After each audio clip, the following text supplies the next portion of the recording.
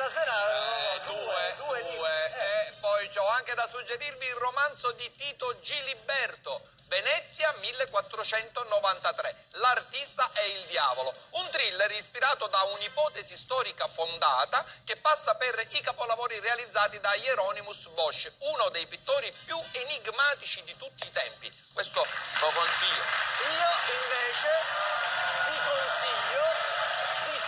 C'è posta per te. Domani non perdetevi Paperissima Sprint. Noi ci vediamo lunedì.